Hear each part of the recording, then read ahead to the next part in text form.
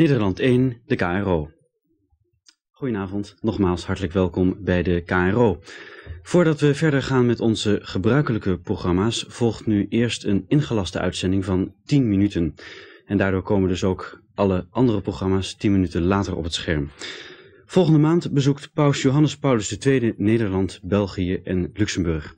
In het kader hiervan volgt nu in de Nederlandse taal een televisietoespraak van de paus. De band met de toespraak werd ons aangeleverd door het Vaticaan.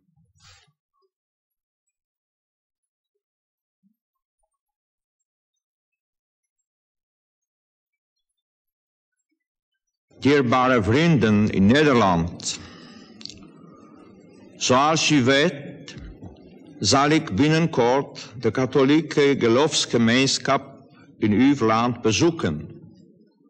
Hiermee ga ik in op een uitnodiging van kardinaal Willebrands,